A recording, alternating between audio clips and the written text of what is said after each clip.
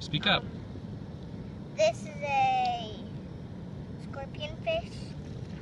They're really um, venomous and um, um, it was right next to a rock and it was had its spines up and ready to um, somebody to step on it. Subscribe if you like it. Well, what are we going to do with it? Release it? Release it in a safe place, right? Where nobody can step on it? Yes. That's right.